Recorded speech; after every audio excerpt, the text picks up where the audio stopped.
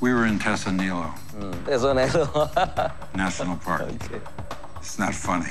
Iya. It's not funny. Aduh, ampun kalau sosial media. itu. Anda minta ampun. Ampun saya. Kalau gitu maafkan saya harus apa-apa, menunjukkan ini silakan nggak ada. Pak. Catatan saya yang menilai UKP 4 itu rapotnya merah Pak Jan. Ada tiga men- kementerian yang dinilai rapotnya merah, salah satunya kementerian Anda. Ini kalau kita pakai patokan UKP 4, which is presiden. Anda ya. Impossible lah seorang Menkominfo tidak mengerti internet cep- cepat itu buat apa. Selamat malam, selamat datang di Mata Najwa. Saya Najwa Shihab, tuan rumah Mata Najwa. Kabinet akan segera berhenti, hanya tinggal menunggu hari. Lima tahun kerja telah hampir berlalu, evaluasi akhir para menteri sudah menunggu. Ada yang raportnya mewah, ada juga yang pontennya merah. Beberapa sudah berurusan dengan KPK, ada yang berharap masuk kabinet berikutnya. Ada juga yang masih sibuk bekerja, berharap bisa wariskan kebijakan yang berharga. Jika waktu sudah dekat, akhir masa jabatan, masih adakah yang bisa dilakukan? Inilah Mata Najwa. Pembantu RI 1. Menteri Kehutanan Zulkifli Hasan. Beberapa bulan lalu diperiksa KPK sebagai saksi suap rekomendasi tukar-menukar kawasan hutan di Bogor. Kasus ini menyeret keterlibatan Bupati Bogor, Jawa Barat, Rahmat Yasin. Aktor Hollywood Harrison Ford pernah secara terbuka marah besar terhadap Menteri Kehutanan. Ford kecewa dengan penggundulan hutan alias deforestasi yang memprihatinkan. Akibat santernya pemberitaan soal ini, Presiden Susilo Bambang Yudhoyono bahkan sampai memanggil Zulkifli Hasan. Indonesia disebut mengalahkan deforestasi di Brazil dengan angka 840 ribu hektar. Angka itu dirilis bekas peneliti Kementerian Kehutanan Belinda Margono dan Belinda kini bekerja di Universitas Maryland, Amerika Serikat. Zulkifli Hasan suatu kali menuding ada 2.000 orang asal Sumatera Utara yang sengaja membakar hutan di Riau. Menurut Menteri Kehutanan, ribuan orang itu sengaja didatangkan untuk merambah hutan di kawasan cagar biosfer. Pemirsa Kabinet Indonesia Bersatu Jilid 2 hampir memasuki masa purna tugas. Para menteri bisa jadi sudah siap berkemas, ada yang memilih kembali berkarir sebagai profesional, ada yang beralih menjadi anggota parlemen di Senayan. Saya undang Menteri Kehutanan Zulkifli Hasan. Selamat malam Pak Zul. Selamat malam, Najwa. Terima kasih sudah hadir di Mata Najwa Pak. Sama-sama. Anda ini termasuk yang akan kembali ke habitat asal menjadi anggota parlemen. Iya, insya Allah. Tanggal 1 dilantik nanti, insya Allah. Anda sudah resmi mengajukan surat pengunduran diri ke eh, presiden. Presiden, sudah, sudah. Dan sisa 20 hari tugas sebagai menteri, Anda kembalikan amanah itu ke presiden. Betul. Hmm. Eh, kilas balik lima tahun yang lalu, eh, Ya. Bang Zul. Em, sesuai ekspektasi Anda tidak sih? Menteri Kehutanan Zulkifli Hasan itu sesuai dengan bayangan Anda ketika Anda pertama kali diminta untuk menduduki posisi ini? Hah? Dulu jadi menteri itu kata orang enak gitu, kata apa gitu ya. Eh, dihormati orang gitu. Saya baru duduk, Najwa, baru duduk hari pertama eh, meeting, betul ada teman saya. Ada kawan saya yang anggota DPR, Alimin namanya. Datang dokter-dokter gitu, dari IPB, dari Gajah Mada. Teman saya langsung protes. Dia bilang Kementerian Kehutanan harusnya menteri yang dibubarkan. Padahal temannya baru jadi menteri hari itu. Saya bilang kenapa? pertama. Alasan Bang Alimin apa? Ini nggak perlu dikelola, serahkan sama lutung. Serahkan sama lutung, sama beruk, sama apa rusa, itu hutan pasti bagus. Serahkan sama gajah, sama harimau, Jadi, sama jadi, lutung. jadi sama... dianggap ini yang- bicara anggota DPR. Teman saya tuh, teman Anggota saya. DPR. Hari pertama saya baru jadi menteri. Dianggap lebih pin- lebih pantas jadi Lebih menteri pantas itu tuh yang eh, lutung. harimau, eh, apa namanya tuh orang hutan itu karena diserahkan itu pasti hutannya bagus. Kalau ada kementeriannya, ada dokter-dokter, mesti hutannya lebih cepat rusak. Baru hari pertama. Bayangkan. Jadi memang Najwa, di kehutanan itu saya merasakan persepsi orang terhadap kementerian lembaga ini itu seperti penjahat bertato banyak. Jadi kalau menteri kehutanan itu mestilah penjahat, tatonya banyak nih. Oh, udahlah, sudah jelek saja, nggak ada bagusnya. Dan memang terbukti.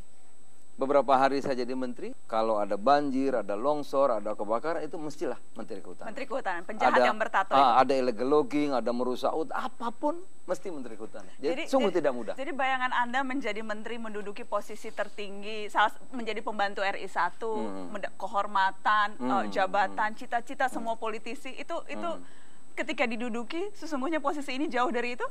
Ya, bahkan jauh sekali. Bahkan istri saya bilang setelah satu bulan ya, istri kumpul sana anak makan satu kesempatan makan malam. Bilang, papi sekarang kok beda ya? Wah, kenapa beda? Apa baru satu bulan jadi menteri kok udah beda? Beda. Perasaan papi tampangnya sudah tua deh. Karena tekanan ya Pak. tua deh, rambut Ada- mulai ada juga, banyak, eh. rambut mulai banyak putih, muka mulai keriput gitu karena stres barangkali ya. Hmm. Memang tidak ringan, apalagi menteri kehutanan, sungguh tidak ringan. Ada penyesalan sekarang lima tahun berlalu, ada penyesalan itu? Tugas tidak ada yang kita sesalkan. Semua tugas itu adalah amanah, kita harus bekerja sebaik-baiknya. Eh, tentu ada kelebihan, ada kekurangan, ada tantangan, juga ada peluang saya kira untuk kita membela rakyat banyak. Gitu. Hmm, jadi itu yang menjadi target Jadi Anda. bahagia saja. bahagia saja. Hmm. Eh, Pak Zul, s- saya ingin eh, kita bicara sedikit soal pencapaian. Eh, saya tahu kalau menteri ditanya berapa eh, nilai keberhasilan atau kegagalan pasti tidak mau jawab, biarkanlah orang yang Iya. menilai. Karena itu saya ingin eh, eh, membacakan ada beberapa penilaian terhadap Anda. Salah satunya disebutkan, ini yang bicara Walhi, kerugian negara hampir 19 triliun karena buruknya pengelolaan hutan. Oh, itu kecil Najwa. Eh, lebih besar dari ini? Loh, yang saya sampaikan ke KPK dan teman-teman Wahli itu kira-kira 280 triliun. Itu 200. temuan saya, bukan temuan Wahli. Ini artinya Anda mengakui kinerja Anda tidak baik, Pak. Eh, bukan kerja saya, tetapi ber- eh, pengelolaan kawasan. Kan konkordan ya. Konkordan itu artinya pengelolaan kawasan itu sekarang beda dengan dahulu. Kalau dahulu kebijakannya itu kan pusat memang, sekarang itu bupati, gubernur dan pusat itu konkordan. Jadi bersama-sama. Dan sering kali tangan pusat tidak cukup eh, mampu untuk menggerakkan tangan-tangan di daerah. Itukah yang terjadi? Eh, saya begini, saya tidak mau nyalahkan bupati atau gubernur, tapi begini. Dulu kuat sekali pusat, kemudian tahun 98 itu terjadi euforia bahwa rakyatlah yang berkuasa, pemerintah daerah yang berkuasa. Ya. Pada tahun eh, 98 Najwa, itu terjadi kerusakan hutan 4 juta hektar per tahun. Itu kerugian negara luar biasa. Tahun 99 hampir 4 juta, tahun 2000 kira-kira 3 jutaan, tahun 2001 turun 2 juta, sekarang tinggal 500 ribu hektar. Dari versi Anda Pak sekarang 500 eh, ribu hektar Iya, deforestasi. iya. Ada ada juga kemudian yang bilang sesungguhnya itu 2 juta hektar per tahun. Tergantung eh, Memasukkan mana hutan metodenya. industri apa atau bukan, bukan, begitu? metodenya. Kalau yang terakhir itu kan begini, misalnya Kalimantan itu kan dianggap hutan alam primer semua.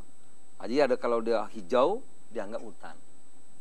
Nah kita tidak, yang Kalimantan Barat kan kabupatennya sudah sudah lebih dari 10 pemekaran perkebunan eh, kemudian hutan tanaman kan itu nggak nggak bukan hijau semua. Tetapi kalau dia dilihat hanya hijau itu hutan ya tentu hitungnya bisa 2 juta. Karena yang baru semak dihitung hutan juga gitu. Menurut Anda fair tidak eh, kinerja kemudian salah satunya diukur dari betapa banyak hutan yang berhasil diselamatkan atau betapa banyak kerugian yang diderita. Menurut Anda angka-angka itu dikonversikan bisa menunjukkan sesungguhnya kinerja kementerian? kan begini mbak. Kalau soal kerusakan lingkungan itu kan tidak terhitung sebetulnya. Hanya yang bisa dihitung itu mungkin eh, jumlah eh, kayunya berapa kubik itu saja. Tapi sebetulnya kalau kerusakan lingkungan itu sesuatu yang sulit tak terhitung tak ternilai. Contoh Najwa di Bangka itu kita sudah hitung Eh, kawasan kita yang berubah menjadi tambang, kalau ingin dikembalikan lagi seperti dahulu, maka pemerintah dapat satu, ya dapat satu misalnya satu itu X rupiahnya, maka pemerintah kalau ingin mengembalikan seperti semula perlu kira-kira 500 kali yang diterima. Jadi kerusakan itu dahsyat. Gitu. Nah oleh karena itu kebijakan pertama kami apa? Ya biar nggak repot-repot, tidak jadi pertentangan. Sudah hutan yang bagus, yang masih primer, sudah kasih moratorium. Tidak boleh ada izin apa pun di situ. Titik. Selesai tidak ada diskusi. Berarti kuncinya di penegakan hukum sesungguhnya.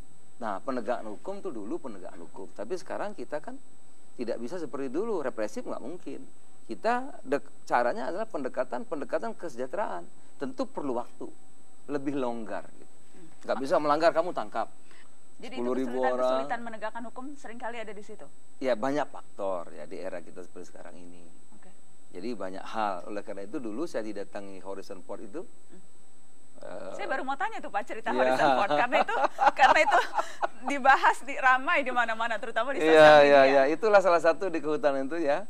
Eh, tadi petato penjahat bertato banyak. Kalau yang nggak tahu kan ya jelek saja gitu. Tapi setelah tahu saya kira akan berbeda.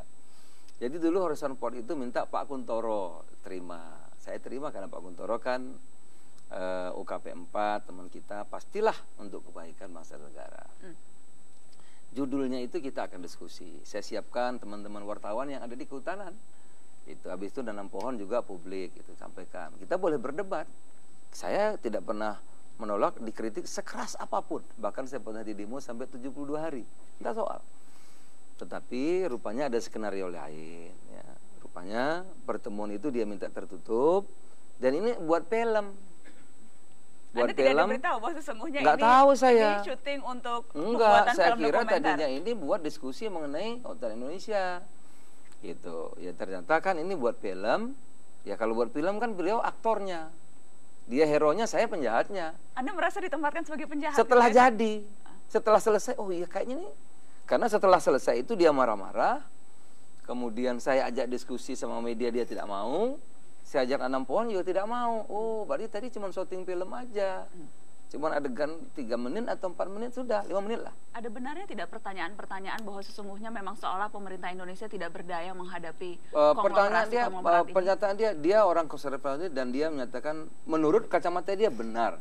Yang belum benar tempat kita sekarang. Contoh begini. Di Tam Tesonelo Riau itu ada 80 ribu taman nasional. Ada 20 ribu orang merambah masuk. Sudah jadi kebun sawit, sudah. Nah, eh, Horizon mengatakan, kenapa kamu enak-enak duduk di sini? Sementara hutan taman nasionalnya itu rusak. Kenapa nggak ditangkap itu? Nah, Jawa bayangkan, nangkap 20 ribu orang gimana caranya? Nangkap dua orang aja kan demonya bisa bisa 72 hari. Bagaimana ngusir 20 20 ribu orang lebih? Nggak mungkin di tempat kita. Eh, saya katakan, Bung, ini bukan Amerika. Ini Indonesia yang baru melaksanakan reformasi. Oh, dia nggak terima. Terus dia pergi. Rupanya ini syuting film. Itu kira-kira lah. Dan, dan jadinya ada aktor protagonis dan antagonis. Ya, Dan saya jadinya- penjahatnya, sini hero-nya. Ya sudah nasib apa boleh buat. Kerja zaman sekarang ini tidak salah aja bisa salah, apalagi salah gitu. Sebetulnya karena itu Najwa, Kenapa Pak? Saya, saya tertarik tidak salah saja bisa salah. Bisa salah, Karena salah. orang mencari-cari kesalahan. nah itu kan berita-berita itu.